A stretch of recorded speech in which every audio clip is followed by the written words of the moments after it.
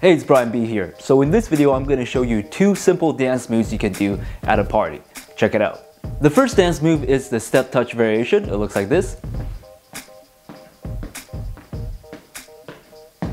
Okay, let me break this one down into three separate sections. So the first thing we're gonna work on is the groove. So the groove looks like this. We go one, two, one, two, one, two, one, two. Okay, so what's going on here is we're standing up straight and then on counts, we're gonna go drop like so. So we're bending the knees and our body is coming back just a little bit. So we go one, two, and then we're gonna replace our body coming back up and then go down. So we go one, two, one, two, one, two, one, two, one, two, one, two, one, two, one, two. So one thing to notice, I'm locking my core here. My abs are tight. So I'm not going boom, boom, boom, boom. Looks weird, all right? So you wanna lock your core. Let's try that one more time from the front. One, two, one, two, one, two, one, two.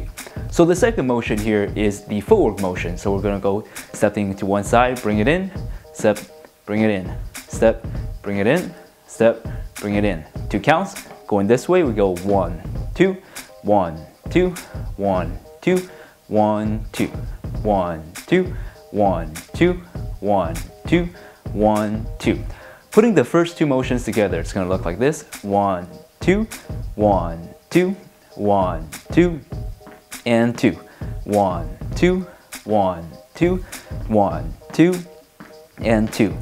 Now we have that down, we can now put a little bit of a direction in there. So we're gonna step to this side first, we're gonna turn our body this way, and then drop.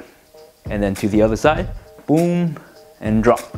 So we go one, two, one, two, one, two, one, two, one, two, one, two, one, two, one, two. Arms up, boom, and boom, boom, and boom. One, two, and two, one, two, and two. All right, so that is the step touch variation. The second dance move is the swing bounce. It looks like this. All right, so this one is perfect when the dance floor is really busy. Let me break this one down. So what you wanna do is you wanna get the rocking motion down first.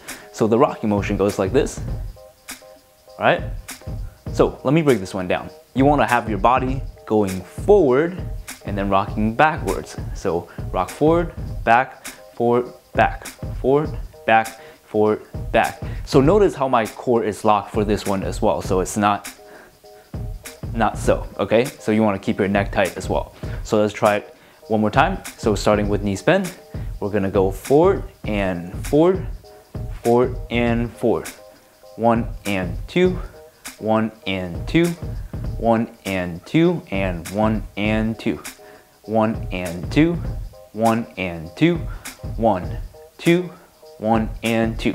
Okay, so the second motion here is the leaning or swing motion. So we're gonna go from one side to the other, one side to the other.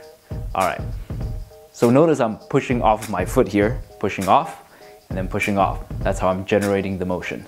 Boom, boom, boom. Okay, putting the two together, we're gonna start rocking, and then we're gonna start pushing, sway. Boom and boom, boom and boom.